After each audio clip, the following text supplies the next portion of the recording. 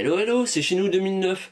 Vous êtes bien sur la chaîne de Gaming Room TV, mais euh, aujourd'hui vous aurez le droit à la présentation de ma collection. Donc pour ceux qui ne me connaissent pas, eh ben, euh, sur ma chaîne je parle euh, de jeux vidéo, plus particulièrement de compte rendu d'achat vide-grenier et magasin, mais je suis également depuis ma tendre enfance collectionneur de cartes Dragon Ball Z, de figurines, voilà tout ce qui se lie à l'univers Dragon Ball Z. J'affectionne tout ce qui est petit objet euh, geek, euh, un peu insolite et un peu moins courant que ce qu'on voit. Merci à eux de m'avoir invité sur leur chaîne, c'est un honneur car ça fait un moment que je les suis. Donc euh, allez, on traîne pas, on commence tout de suite.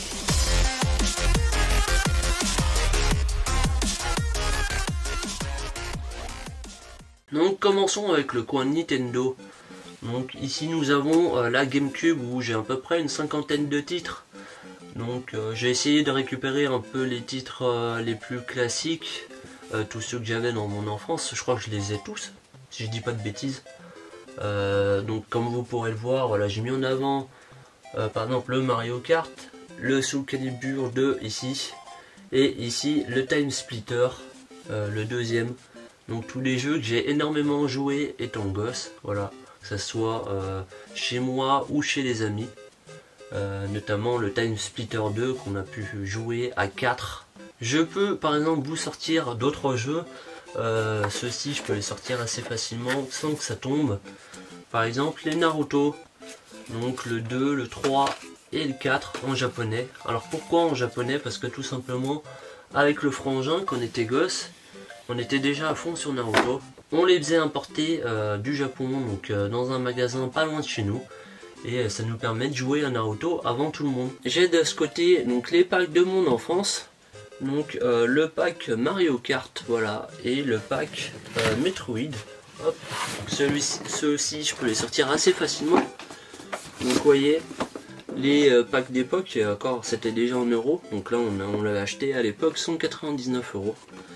Donc, donc voilà, pour l'histoire, celui-ci, donc c'est le tout premier pack que j'ai eu. Et euh, quand j'étais gosse, ma chambre a cramé. Et euh, malheureusement, eh ben, euh, la console y avait eu.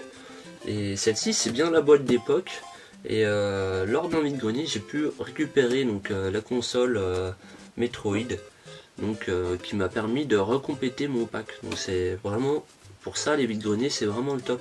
Je me suis fait ici donc le petit coin collector Wii U avec un petit collector, donc les jeux DS j'en ai très peu, donc ici on a euh, le Majora's Mask 3D.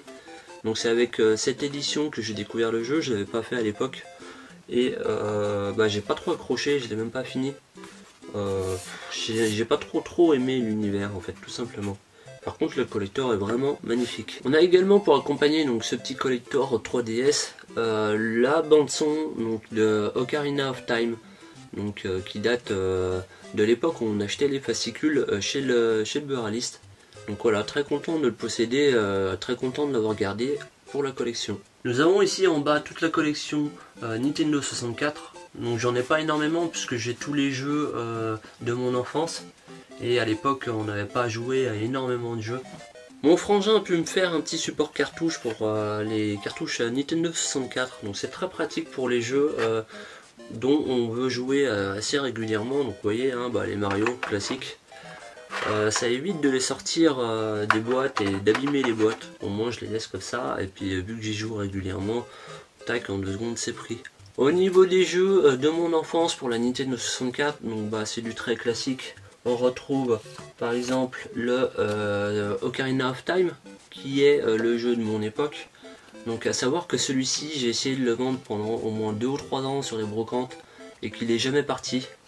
Et c'est le même cas euh, pour euh, le Mario Party. Donc le Mario Party qui se trouve là. Donc malheureusement, forcément, euh, ayant traîné sur les brocantes, bah ils sont dans des états un peu misérables. Mais étant attaché à ces jeux, bah malheureusement, je les garderai dans cet état. je serais incapable de m'en défaire et je vois pas l'intérêt d'en racheter bah, des plus neufs pour juste les avoir en meilleur état. Mon jeu de course préféré de la Nintendo 64, et eh ben sans hésiter, ça sera le F-Zero GX, voilà. l'une de mes licences préférées chez Nintendo. après, bah, en termes de FPS, hein, clairement, bah, voilà, le GoldenEye, comme tout le monde. encore aujourd'hui, je trouve que ça se joue très très bien. Qu'est-ce qu'on a d'autre? Les micro-machines qui étaient très très sympathiques aussi. Euh, un jeu peut-être un peu moins connu que je vous invite à faire, c'est le Jet Force Gemini. Euh, celui-ci, ça fait longtemps que je ne l'ai pas relancé. Euh, peut-être qu'il a mal vieilli, mais voilà, c'est quand même un, très très bon jeu. Moi je me rappelle qu'à l'époque on avait beaucoup joué avec le frangin. après, bon voilà, on a les Mario Kart classiques. le 1080 à l'époque c'était une sacrée claque aussi. Aujourd'hui ça a très très mal vieilli. Également l'un de mes jeux préférés, bah, tout simplement le euh, Star Wars Rogue Squadron. Donc celui-ci, euh, un nombre incalculable d'heures passées à jouer, à faire les missions. Euh, vraiment très sympathique aussi. J'ai également quelques jeux japonais puisque j'ai eu la chance d'aller au Japon. donc j'avais pu me prendre quelques petits jeux bien sympathiques, donc comme le Smash Bros. Voilà, donc la jaquette est vraiment magnifique. Euh, malheureusement, j'ai pas encore réussi à le faire tourner. J'ai un adaptateur, mais j'y suis pas arrivé. Je pense que je me prendrai directement une Nintendo 64 euh, Jap. Ça sera plus simple. Mais voilà, je trouve que la jaquette a vraiment de la gueule. Euh, qu'est-ce qu'on avait? On avait également, par exemple, le Yoshi Story. Et puis les Mario Party 2 et 3. Donc par exemple le 2, vous voyez. Donc les jaquettes sont vraiment vraiment sympathiques. Nous avons donc euh, ici toute la partie euh, Nintendo DS, 3DS, Wii, Wii U et tout ce qui est cartouche loose. Donc euh, je ne veux pas trop m'attarder sur cette partie. je vous ferai quelques petits plans voilà, où je vous montre un peu les jeux. sachant que c'est pas les jeux que je joue le plus. voilà, je vois pas trop l'intérêt de vous en parler plus que ça. J'ai quand même quelques jeux sur la Wii. Euh, de l'époque que j'avais bien aimé. Voilà, c'est pas euh, des jeux foufou, mais moi à l'époque j'avais plutôt bien kiffé. Par exemple, Let's Tap, vraiment sympathique. Euh, pour ceux qui connaissent pas, c'est un jeu tout bidon, hein, vous voyez, c'est des bonhommes qui courent. Et à l'époque, on mettait donc les manettes sur des boîtes. Donc c'était un, jeu qui, où, c'était fourni des boîtes. Et quand on tapait avec les vibrations, ça faisait courir les gars plus ou moins vite. Et puis euh, voilà, si on tapait fort par exemple, ça faisait sauter le gars.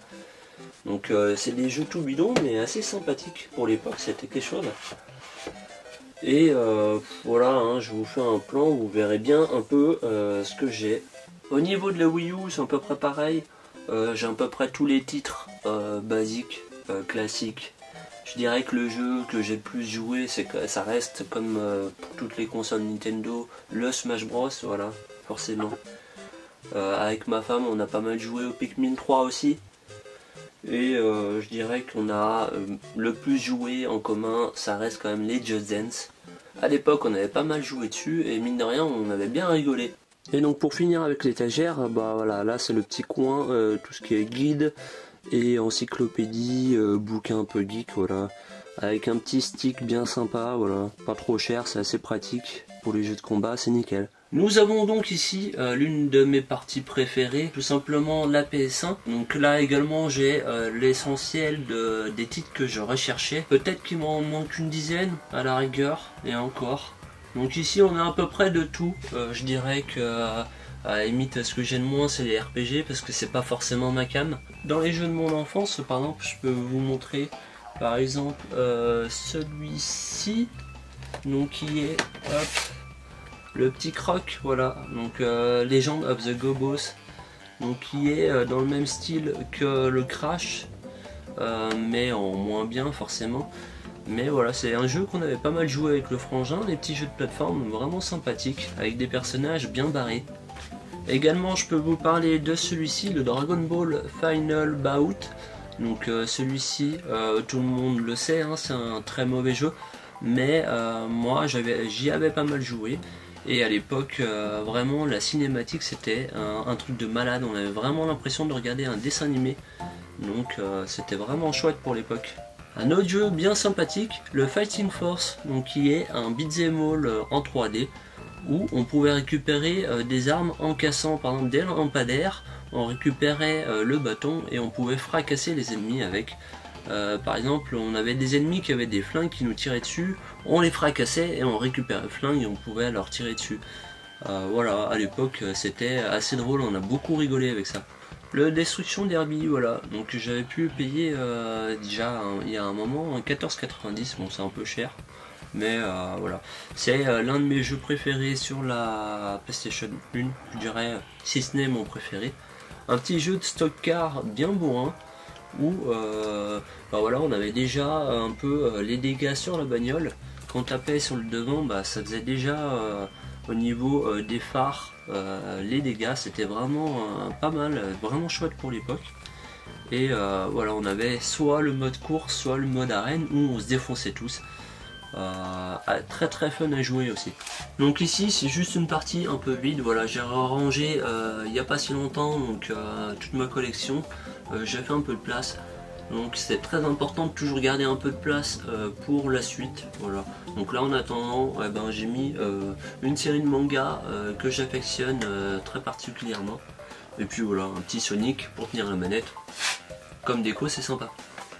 Donc là nous avons la petite partie PSP.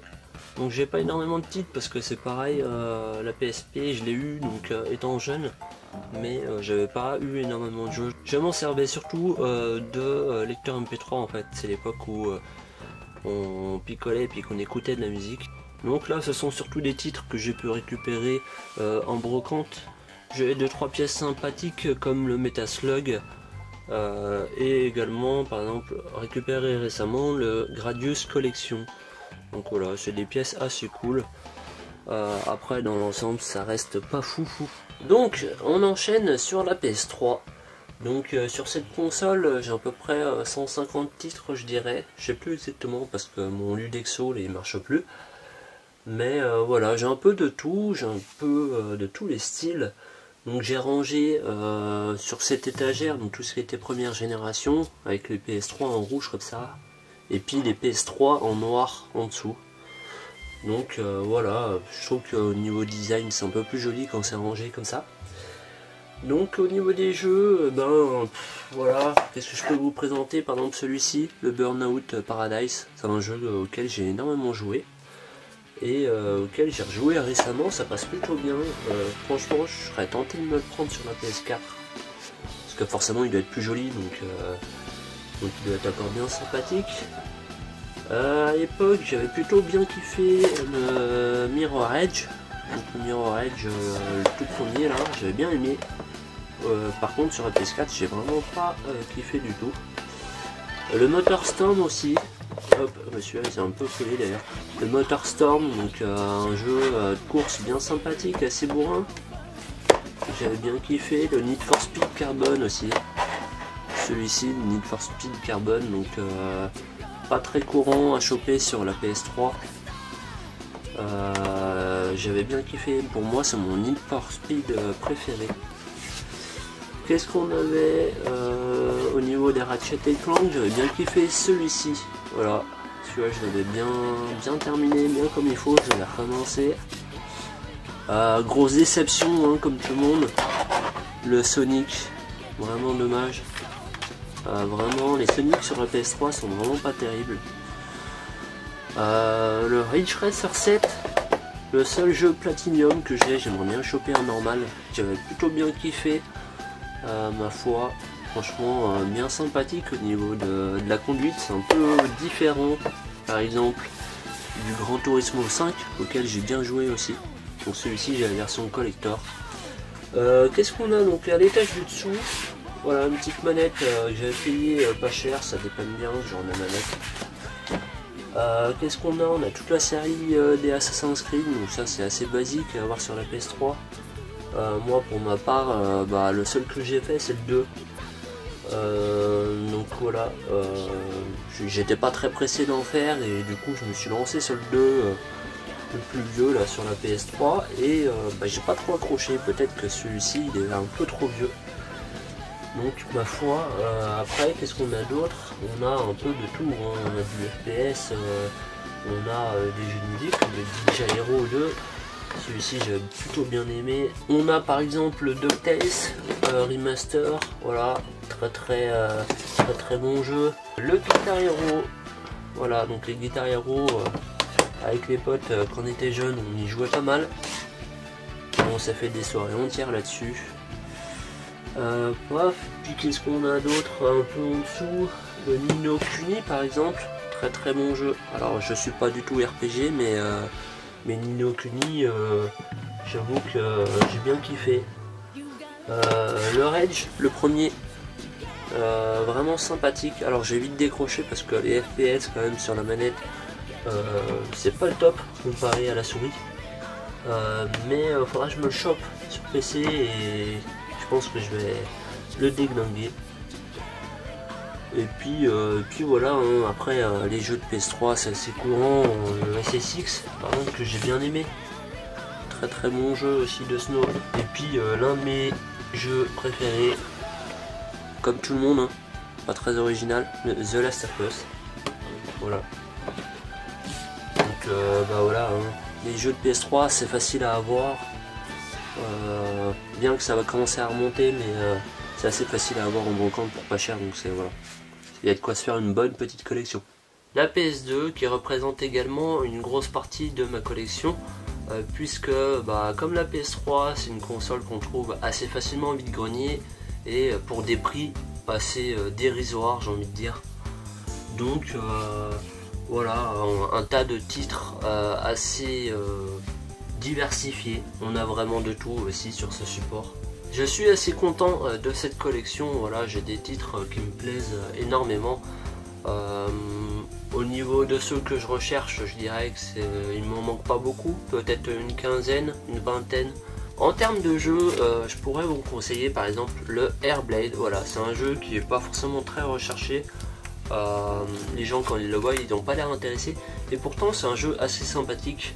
Euh, d'Overboard, un peu à la manière de Trick Style euh, sur euh, Dreamcast. Celui-ci, c'est ouais, entre Trick Style, un jeu de course, et un Tony Hawk en fait. Donc vraiment sympathique ce jeu.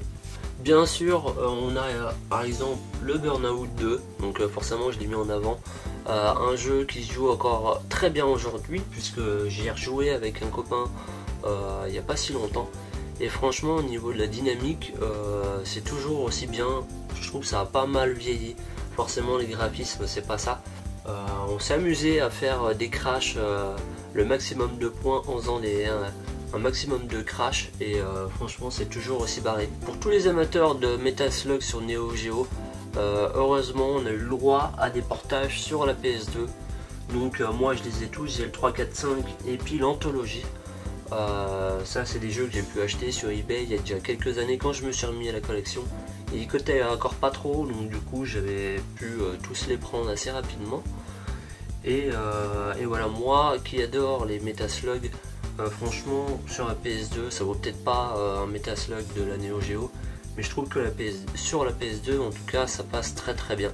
Un petit jeu que j'ai pu jouer énormément à l'époque avec les copains, c'est le Red Faction celui-ci c'est un peu euh, comme à la GoldenEye où euh, on pouvait jouer à plusieurs sur une map et euh, s'exploser la tronche tout simplement. Et la particularité c'est que les décors pouvaient exploser aussi. Et nous à l'époque je me rappelle on s'amusait à faire des trous dans les murs et à faire des espèces de cavernes. Et, on se cachait dans les cavernes, c'était assez drôle. Et pour finir avec la présentation des jeux PS2, on pourrait y passer des heures avec le nombre de bons titres qu'il y a. Euh, moi j'ai envie de vous présenter le Splashdown, voilà. Donc je vous présente que des jeux qui sont pas forcément foufou, hein. c'est pas des grosses licences, euh, on n'a pas euh, du Final Fantasy, du Crash ou des trucs comme ça parce que tout le monde connaît. moi je préfère vous présenter des jeux un peu moins recherchés, un peu moins côté, un peu moins foufou, mais qui sont tout aussi sympas, comme le Splashdown. Donc le Splashdown qui est un jeu de jet ski et euh, avec des musiques vraiment très sympathiques. Et pareil, celui-ci, euh, je trouve qu'il a pas mal vieilli au niveau euh, de la maniabilité, ça, reste encore très très bien. Donc voilà, vraiment des musiques extra. Moi, à l'époque, quand j'étais jeune, j'étais dans ma période rock à fond. Et, celui-ci dispose d'une super, superbe bande son. Donc vraiment sympa. Voilà, on avait des modes, des modes course et on avait aussi des modes où il fallait récupérer dans un temps imparti un nombre de le plus grand nombre de bouées possible. Donc ça en duo c'était sympa aussi à jouer. franchement on y a passé un sacré paquet d'heures. Donc avant de passer au coin rétro, je voulais vous montrer mon meuble à console. Euh, donc voilà, tout simplement, il s'agit d'un meuble euh, Calax de chez Ikea euh, que j'ai bricolé un peu. Donc ici on retrouve la PS1, PS2, PS3, la Dreamcast, donc forcément ça suit pas, j'ai mis un peu comme ça. la Master System, la Nintendo 64, la Wii et la Wii U, la GameCube, Ici on a euh, la grosse hitbox qui passe euh, tout juste, mais vraiment euh, c'est juste juste. Et la Retron 5, voilà. Et il me reste encore un casier que je vais pouvoir modifier comme ceci. À savoir que donc ça c'est pas d'origine en fait, c'est ces étagères, c'est moi qui ai bricolé. tout simplement j'y ai pris une porte, donc très exactement, vous voyez, j'ai pris une porte et au lieu de mettre à la porte, j'ai tout simplement euh, mis le fond et euh, je m'en suis servi comme étagère en fait. Les casiers étaient trop grands en fait, ça faisait une perte euh, pas possible. Et voilà, je trouve que ça permet de mettre plus de consoles et c'est plus joli. Et en plus, bah, vu qu'on a le fond, j'ai fait en gros le trou juste pour le passage des câbles. Et au moins c'est vraiment propre. Vous voyez, je pense que là vous voyez pas absolument pas les câbles derrière, mais en même temps il y a les manettes. Mais euh, quand on est vraiment de face, et eh ben là par exemple la 64, moi je suis de face, je vois même pas les câbles qui passent derrière. Donc voilà, c'est une petite astuce si vous voulez la reprendre, euh, de prendre des portes et euh, au moins vous avez le même coloris parce que souvent ils font des étagères mais qui sont même pas du même coloris du même, donc c'est un peu débile. Donc voilà, on enchaîne sur la partie Mega Drive. Bah, c'est vraiment la console sur laquelle j'ai pas mal passé de temps. C'est la première vraiment où j'ai eu des souvenirs. Donc, euh, donc voilà, c'est vraiment une console de cœur pour moi. Donc euh, ici on a bah, tout ce qui est euh, Sonic, voilà les DVD de la série que je regardais quand j'étais petit avant d'aller à l'école. Ici on a deux petits packs, voilà Master System 2 et Sega Mega Drive 2. Donc bien sûr, bah, vous verrez pas beaucoup de packs euh, de consoles parce que moi je suis euh, plus collectionneur de jeux vidéo que de consoles. Euh, je vois pas trop l'intérêt de... Ce n'est que mon avis, hein, je vois pas trop l'intérêt d'avoir tout plein de consoles puisque de toute façon on va jouer que sur une seule.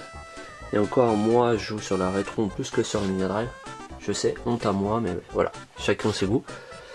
Donc, eh ben, on va y retrouver tout un tas de jeux, hein, pareil. Donc comme vous pouvez le voir, je les ai classés euh, par génération, donc tous les noirs en haut et puis les bleus en bas. Voilà, donc je vous fais un bref euh, récapitulatif de ce que j'ai. Vous voyez. Et puis après, bah, je vais vous parler un peu plus en détail de certains jeux auxquels j'ai pu jouer quand j'étais gosse. Donc j'ai sélectionné quelques jeux que je vais vous montrer, euh, ceux qui ont euh, bercé mon enfance, ceux qui ont fait qu'aujourd'hui c'est ma console de cœur, et puis euh, d'autres jeux que j'ai découverts en me remettant à la collection, pour lesquels j'ai eu un gros coup de cœur également. Donc forcément, je pouvais pas commencer par autre chose que le Sonic et Knuckles, voilà, très très classique, hein, rien de nouveau. Euh, mais euh, voilà, celui-ci euh, c'est particulier, je l'ai eu, je eu à l'époque pour mes 9 ans et, clairement ça a été l'un de mes cadeaux qui m'a le plus marqué et qui m'a le plus fait plaisir dans toute ma vie. Voilà.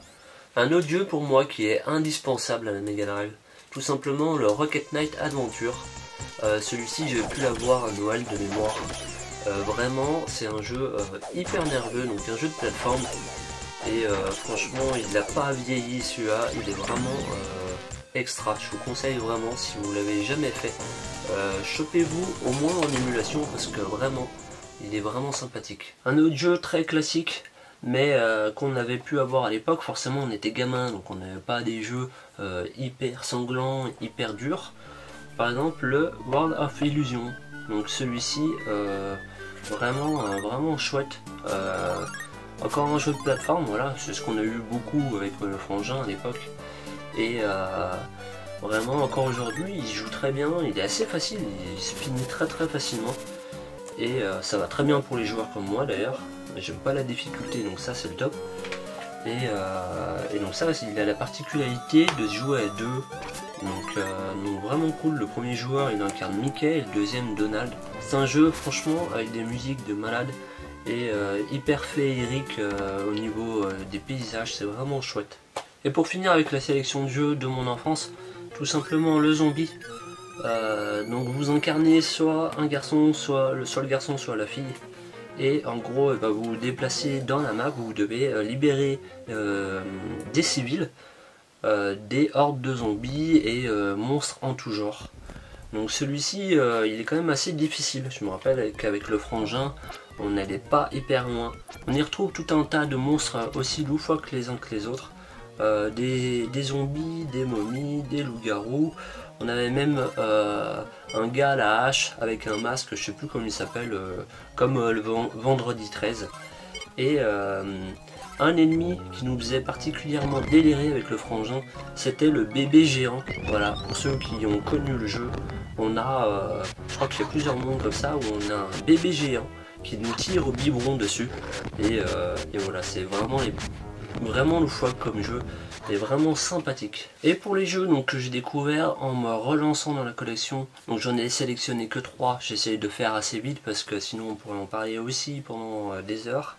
On a par exemple Chiki Chiki Boy. Donc voilà, un petit jeu vraiment, euh, vraiment cool. Euh, voilà, très très coloré avec des personnages vraiment chouettes. Donc moi je l'avais acheté à la jaquette, hein, vraiment sans connaître. Et ça a été une super bonne surprise.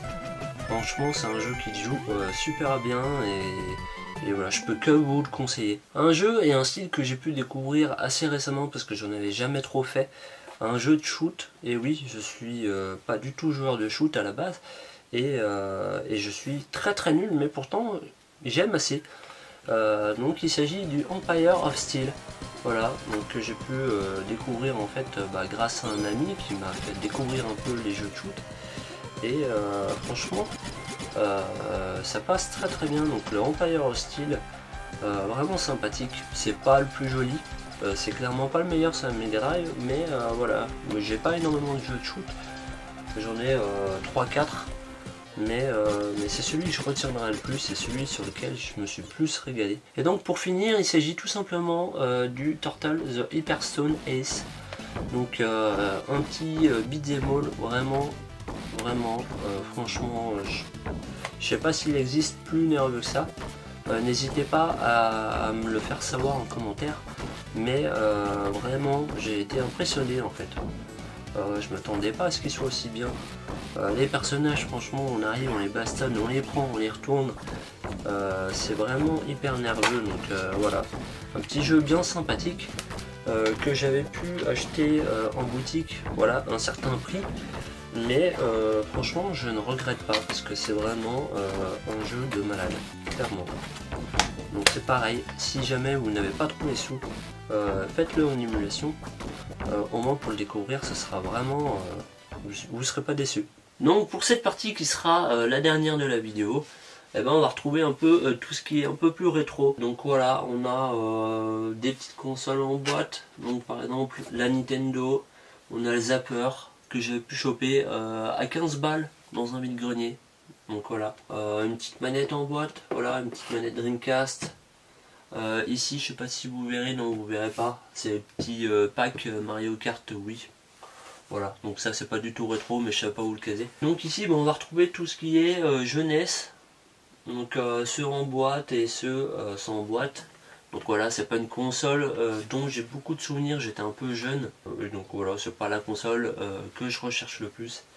Également pour la Super Nintendo, je l'ai pas eu quand j'étais jeune. Donc, donc voilà, je m'y mets gentiment, hein, ça, vient petit à petit. Qu'est-ce qu'on a là? Le petit robe, donc le robe qui m'a été offert par mon oncle. Sinon, bah, un peu plus en dessous, on a la Master System et la Dreamcast que je vais vous montrer dans un second temps. Au niveau des jeux de Nintendo, eh ben, euh, tous ceux que j'ai pu avoir dans mon enfance, bah, c'était les plus classiques. Donc forcément bah, le Turtle et puis des Mario. Qu'est-ce que j'avais pu avoir? J'avais pu avoir par exemple le Skater Die. Donc le Skater Die qui est quand même franchement assez difficile. Aujourd'hui moi j'y arrive pas. Et, ton gosse j'y arrivais pas non plus. J'ai jamais réussi à rien avec ce jeu. Euh, celui que j'ai le plus de souvenirs, à la rigueur, c'est le Kung Fu. Celui-là, vraiment excellent. Et euh, deux jeux que j'ai pas énormément de souvenirs non plus, mais que je sais que je les ai vus à l'époque. Le Chip and Dale et le DuckTales, voilà. Donc des jeux euh, aujourd'hui qui se jouent encore très très bien, vraiment sympathiques. Ah, et également, je vais l'oublier, l'un de mes jeux préférés, le Boulder Dash, voilà, avec des musiques, franchement, euh, j'adore ces musiques. Souvent, je les reprends dans mes vidéos. Donc, euh, donc voilà, vraiment un, jeu extra. Alors, au niveau du loose, comme vous pourrez le voir, bah, j'ai des titres assez sympathiques. Hein. par exemple, le Castlevania 1, et puis le 2 qui est, c'est un peu tout rangé dans arbres. j'ai le 1 et le 2, par exemple j'ai le Metroid, le Ghost and Goblin, Mega Man 2 et 4. Euh, faudrait que j'essaye de me choper les autres. Euh, les Zelda en, classique et puis en, et puis en normal.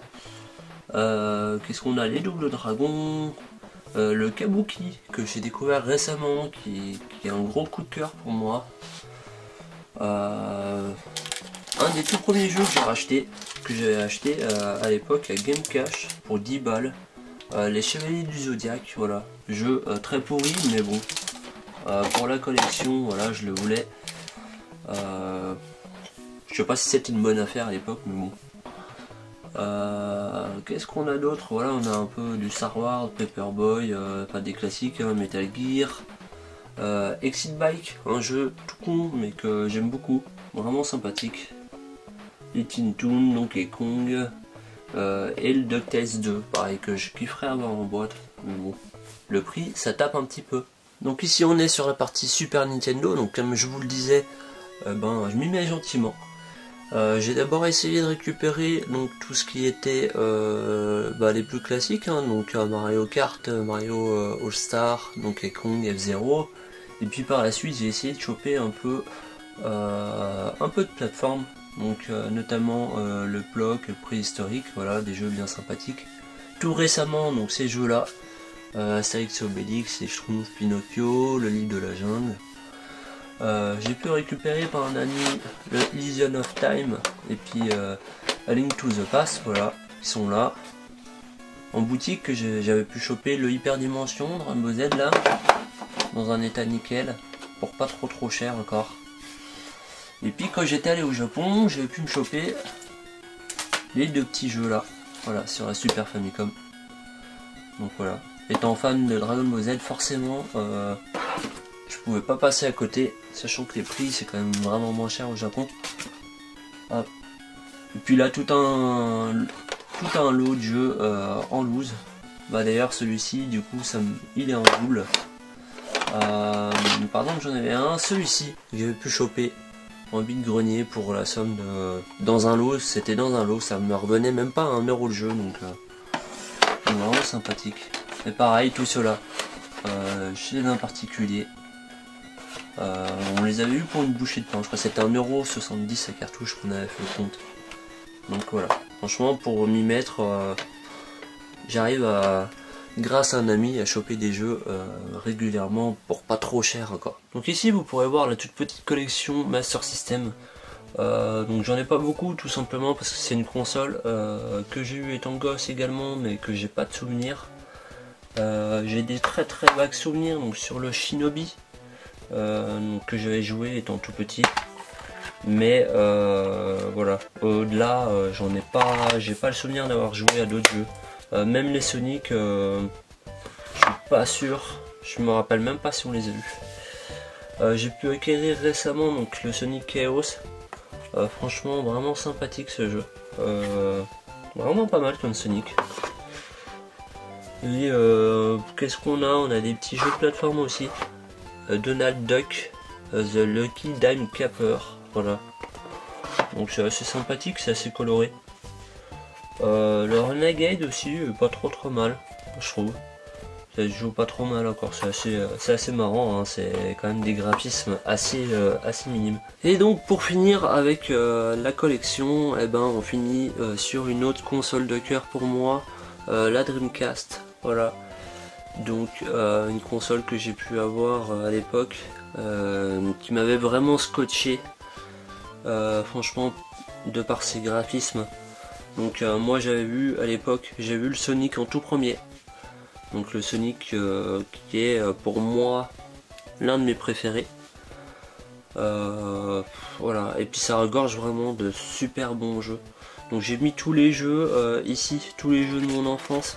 Donc on avait eu pas mal quand même, mine de rien.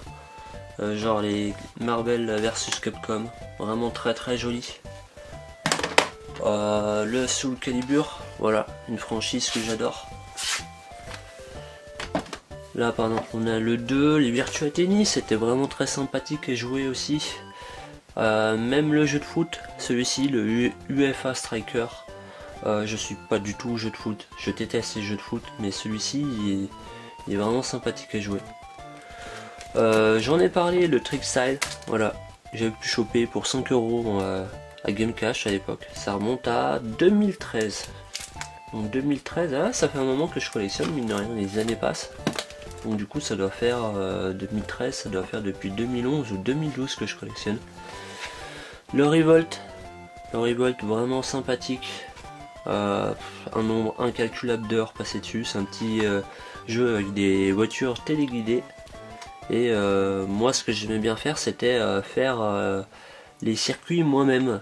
Je m'amusais à faire euh, des grosses montées puis des grosses descentes. Des... C'était assez drôle. Euh, voilà, celui-ci, The House of the Dead 2.